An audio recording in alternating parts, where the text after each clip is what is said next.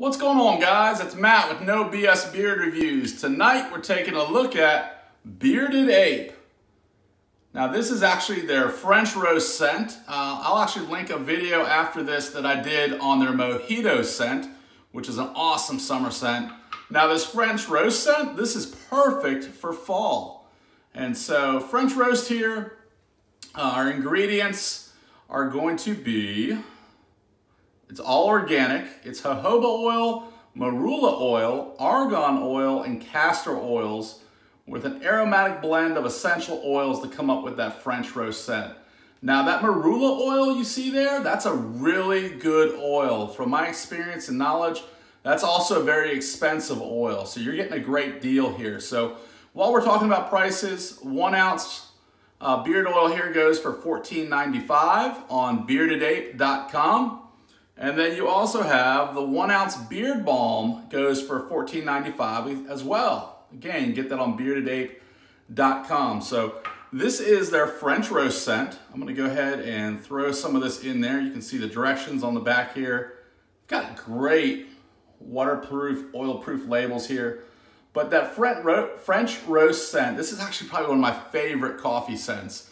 If you're a coffee drinker, and you're looking for a scent that's not like that bitter coffee, this is more or less that expensive $5 cup of coffee you're getting at a coffee shop. Um, it's got roasted coffee with hints of vanilla. Uh, to me, this just smells like one of those expensive, frothy, just delicious coffees. Um, whether that's a cappuccino, an espresso, um, you name it, but it smells absolutely wonderful. So go ahead and throw some of this in. Now it's also a very light scent, I will mention that. This is not something that's gonna be overpowering.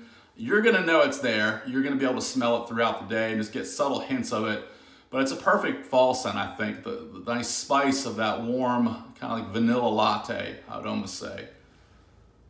Now, one of the things I love about Bearded Ape, their oil here, good, but I got the pump top, that's always nice. I know there's other companies out there that make a thick oil. Um, I think bearded ape is actually even thicker. Let's see. Nice and shiny. Mmm. But you just, that vanilla hits you first with subtle hints of the coffee. I've smelled other coffee scents in the past where it's just a very bitter black coffee. That's, this is the complete opposite. But gets in the beard great. Go ahead and comb that through.